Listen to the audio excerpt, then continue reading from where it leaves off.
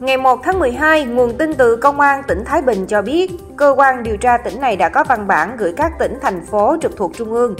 đề nghị ra soát, cung cấp thông tin liên quan các văn bản kiến nghị, phiếu chuyển đơn hoặc văn bản khác do ông Lưu Bình Nhưỡng ký gửi các địa phương hoặc sở ngành từ tháng 7 năm 2016 trở lại đây. Theo đó, nội dung văn bản đề nghị phối hợp ra soát toàn bộ các văn bản kiến nghị, phiếu chuyển đơn hoặc văn bản khác do ông Lưu Bình Nhưỡng ký với cương vị đại biểu Quốc hội hoặc Phó trưởng ban dân nguyện thuộc Ủy ban Thường vụ Quốc hội để gửi đến Ủy ban Nhân dân tỉnh, thành phố hoặc các sở ban ngành đơn vị trực thuộc từ thời gian trên. Trước đó, ngày 14 tháng 11, Cơ quan Cảnh sát điều tra Công an tỉnh Thái Bình đã ra quyết định khởi tố bị can, lệnh bắt bị can để tạm giam, lệnh khám xét nơi ở, nơi làm việc đối với ông Lưu Bình Nhưỡng, trú tại quận Tây Hồ, thành phố Hà Nội, để điều tra về tội cưỡng đoạt tài sản. Đây là kết quả điều tra mở rộng vụ án Phạm Minh Cường, thường gọi là Cường Quắc.